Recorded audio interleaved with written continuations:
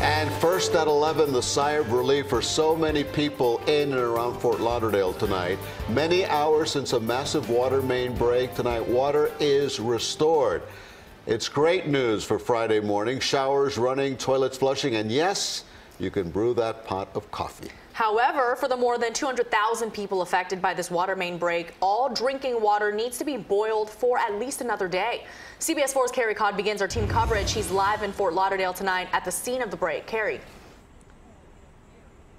That's right. After a day of activity trying to fix that water main break here at Fort Lauderdale Executive Airport, things are quiet tonight. The big hole in the ground does remain. It's back behind me through this fence. But tonight, the city says they have a temporary fix in place and water is once again flowing through the taps. Although, as you mentioned, that boil water notice remains in effect.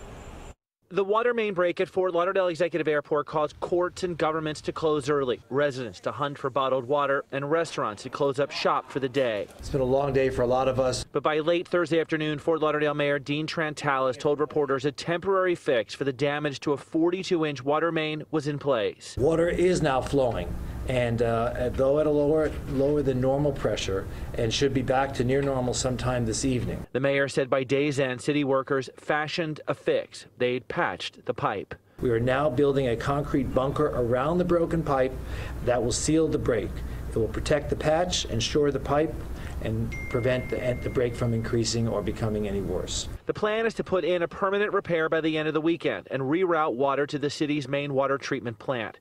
The mayor said a subcontractor of Florida Power and Light damaged the water main on Wednesday afternoon while repairing electric lines. City leaders said they've cited the company, Florida Communications Concepts Inc., out of Palm Beach County.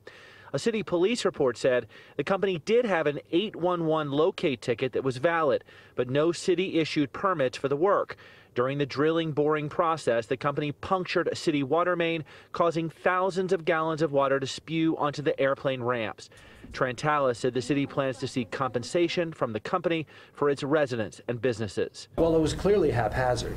It was clearly uh, something that they should not have done, and it was clearly something that uh, we're going to seek retribution for. The break impacted more than 220,000 people across Fort Lauderdale, Oakland Park, Wilton Manor, Sea Ranch Lakes, Lauderdale by the Sea, and parts of Tamarac and Davie. Trantalis said with a temporary repair in place, the city can start to work on a permanent solution and also determine how this happened and why. This was not just a minor incident. This impacted many hundreds of thousands of people and customers, and uh, we need to get to the bottom of it. All right, a couple of notes. Again, that boil water notice remains in effect. City leaders say it could be in effect for up to two days. Also, city offices and the main courthouse in Fort Lauderdale are expected to be open for regular business tomorrow. Finally, tonight, I did have a brief conversation with the man listed as an officer of the company that the city cited for damaging that pipe.